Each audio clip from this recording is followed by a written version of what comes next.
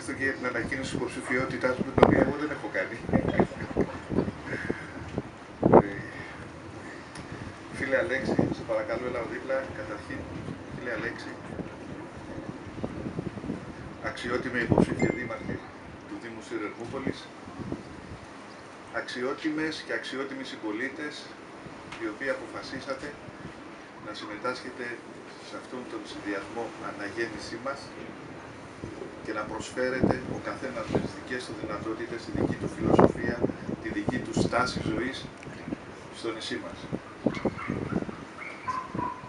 Μετά από 33 συναρτά έτη παρουσίας μου στα κοινά και μάλιστα μόνο στο χώρο της αυτοδιοίκησης, και αυτό θέλω να το τονίζω, 33 χρόνια με παρόν μόνο στο χώρο της αυτοδιοίκησης, τον οποίο θεωρώ τον πιο δημιουργικό, τον πιο υγιή πολιτικής, πολιτικό στίβο, δεν μπορώ παρά να σας συγχαρώ για την απόφασή σας.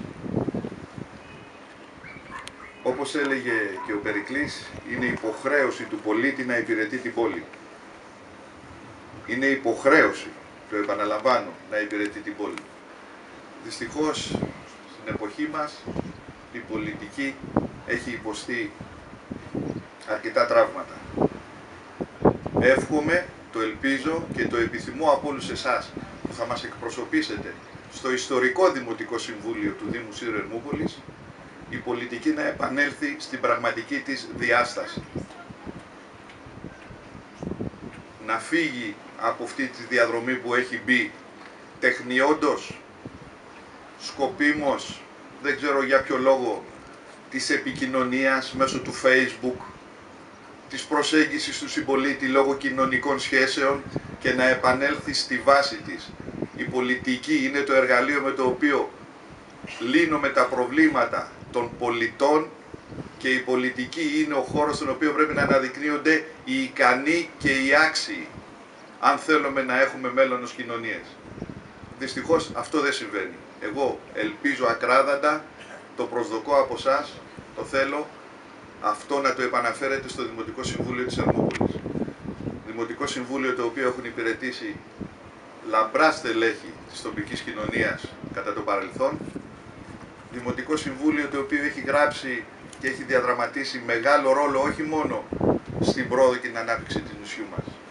Η ΣΥΡΑ ήταν ένας από τους βασικούς πυλώνες ίδρυσης του ελληνικού κράτους η ΣΥΡΑ έχει προσφέρει τα μέγιστα στην πατρίδα και η ΣΥΡΑ μπορεί να προσφέρει και σήμερα τα μέγιστα και στους πολίτες της και στην πατρίδα μας.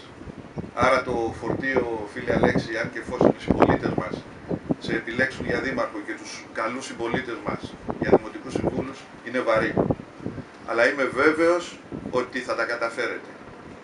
Από τη δική μας πλευρά, εάν και εφόσον οι πολίτες του Νετίου Αιγαίου μας εμπιστευτούν και πάλι, να είσαστε βέβαιοι ότι θα είμαστε δίπλα σας νυχθημερών σε οποιοδήποτε πρόβλημα πρέπει να αντιμετωπίσουμε από κοινού.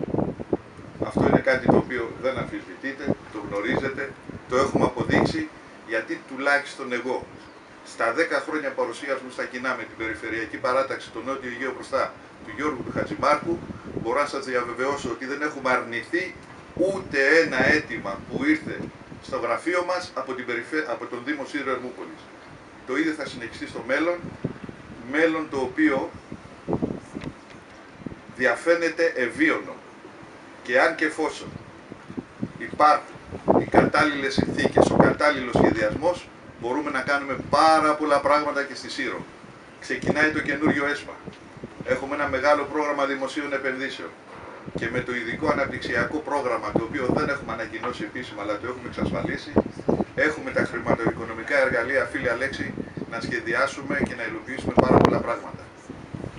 Καλή επιτυχία σε όλους και πάλι σας συγχαίρω για την απόφασή σας να προσφέρετε ο καθένας με τον τρόπο του, με τις δυνάμεις του στο νησί μας.